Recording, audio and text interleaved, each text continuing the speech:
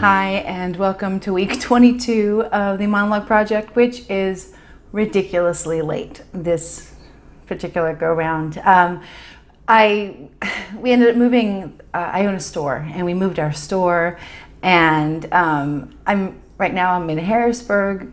Uh, rehearsing for Pericles with Gamut, and so between moving the store and driving back and forth to Harrisburg, I just plain did not have time. So my apologies, but everything's done now and rehearsals are started, but the store's moved, and so I can focus back on the task at hand, which this week is Immaculate by Oliver Lansley, and the character is Rebecca.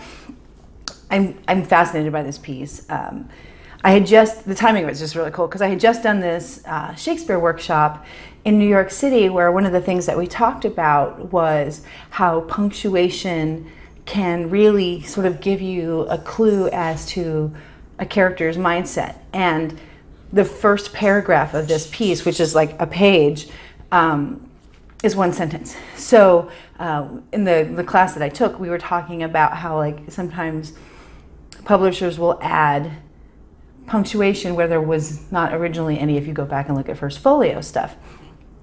And that there's a huge difference between a run-on sentence that goes on for two minutes and a monologue that is broken up into a series of different sentences. Uh, having that lack of, of, finality of the punctuation really sort of adds to the sense of urgency and almost chaos of this person just trying to spew this information out of their head. So uh, I thought it was interesting timing that this was then the very next piece that I got after having taken that class. So anyway, it's a really cool piece, especially like if you're sort of early, mid 20s. Um, Oh, anyway, I kind of I kind of dig it. And so we're gonna have some fun with that punctuation information. So this is Immaculate by Oliver Lansley and Rebecca. Hi. Look, there's something I have to say. I I probably should have told you earlier, but I didn't know if it was going to go anywhere. But now I think it is. Oh, I thought it was. But now you're pregnant, so I probably shouldn't tell you anyway because Stress is bad for the baby. Not that you're keeping it, right? God, you're huge. Are those my boots? Look, Michael and I are together. We're a couple. I am sorry. I didn't tell you. I didn't plan it. I, I was out and I saw Michael and I said hello and we got to talking and it came out he'd always quite fancied me, but couldn't do anything about it, obviously, because we were best mates. And I said I fancied him too which is why I was sometimes a bit of a bitch towards him because I think subconsciously I fancied him. And I always used to talk to Ed about him, and that's why Ed never wanted to come out with us in a foursome because he thought I fancied Michael, which I didn't, or didn't think I did. But turns out I did because I fancy him now. Anyway, we weren't going to do anything about it because you two had just broken up, and I knew how pissed off you'd be. But then we said, well, maybe we should just have a kiss while we're both single then, just to, to get it out of our systems. So we had a kiss, and then the kiss carried on, and things and things, and we ended up having sex, which I'm not proud of, but it was good. And it was bad because the condom broke, and then I had to get the morning after pill, which was fucking awful. And I was terrified because I thought I was gonna have a baby.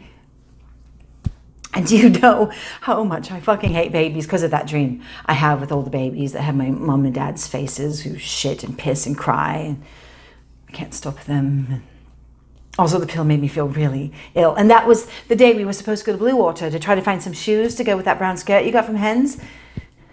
And I said I couldn't come and I was sick. And you were pissed off. And I wanted to tell you but I couldn't, and I felt really guilty, and I cried, and then I called Michael, and I told him, and he was really good about it. It made me feel better. And we had decided we weren't going to see each other again, but I was crying on the phone, so he came over, and then he ended up spending the night again. And but we didn't have sex. We just cuddled, and then it went from there. But now you tell me you're pregnant. And you say you haven't had sex with anyone since Michael, which means he must be the father, but you don't want to tell me because I made such a fuss about what a fucker he was when he dumped you. Which means you're lying to me. and he's lying to me and I'm lying to you and you're fucking him and I'm fucking him and he's fucking you and me and I'm going to lose my best friend and my boyfriend. Not that I call him my boyfriend, but technically he is. And I will die helpless and hopeless and friendless and loveless and die old and alone with thread veins and, and bladder weakness and a house full of cats.